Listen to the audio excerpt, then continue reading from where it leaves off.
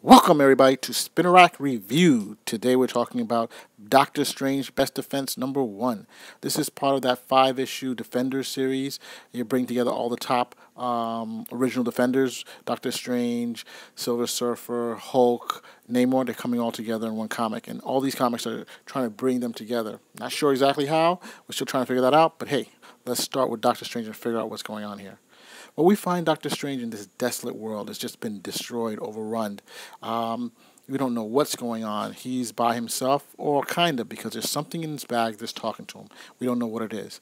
What we do see him do is that he's running out of power, he's running out of strength, and so he needs to um, um, have magic for his the eye of Agamotto, and so what he does is that he pulls out an eye from his own his freaking eye, and he puts it in his um, the amulet, and um, to to power it, and so it is um, how he finally has his last bit of power. So whatever's been going on has been going on for quite some time. I mean, it, it's a, it's been a plan that he's had in motion for many years or decades. Um, we're not 100% sure yet, but it's cost him everything from his relationship with Clea to almost everybody in the human world. But this plan is, is pretty insidious because he's decided that the only way, the only option he has to destroy Dormammu and his minions from ravaging the earth is to do this.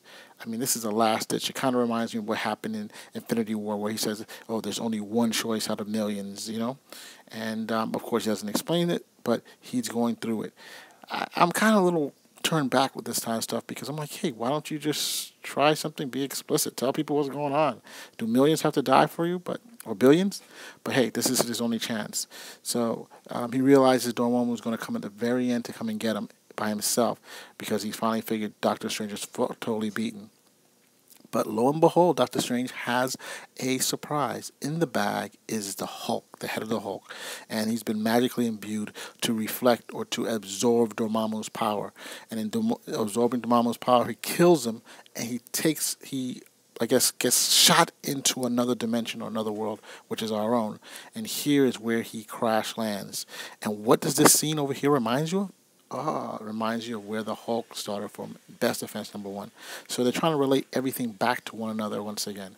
And I think it did a decent job. Not a great job, but it did a decent job. And of course, we're still asking a million questions, um, especially with the next episode coming up. We're like, yo, what is happening? You know, is Defenders going to be the thing? So I'll try to get that one out to you as soon as possible. But I'm hoping that, you know, this catches a little bit more on fire than what we've been seeing. Spin rack out.